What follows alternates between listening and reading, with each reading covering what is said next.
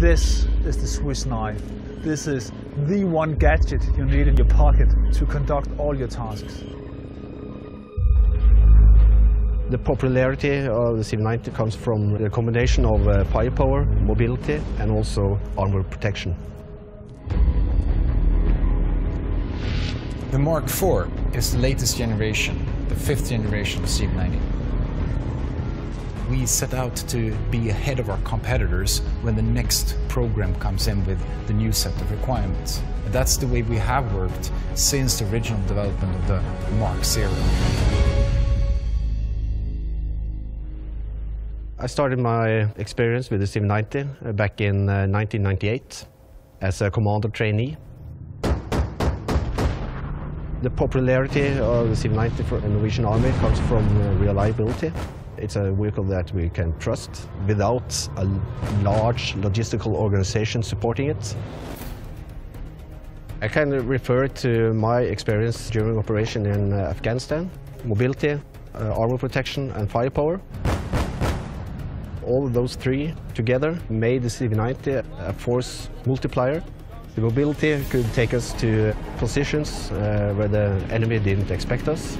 We could surprise them and also we could take more risk because of the, uh, the armor protection. And uh, most of all, when we got into uh, favorable uh, combat positions, we had the firepower to actually inflict the enemy and uh, succeed our operations. My name is uh, Jacob. I'm a master gunner on the CV90. My experience is, reaches back to 2006, where I was part of the implementation in Denmark.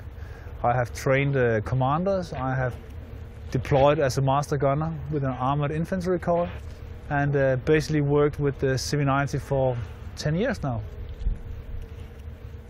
The CV90 has many capabilities, but the ones I could highlight is, of course, the, the firepower, the accuracy, and, uh, and the mobility of uh, the whole system.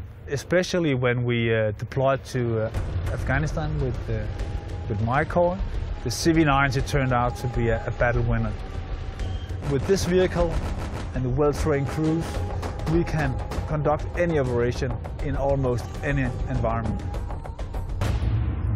Uh, the adversaries soon learned to respect the CV90 and every time it turned up, they either broke the engagement or avoided to go into one. The Mark IV is the latest generation, the fifth generation.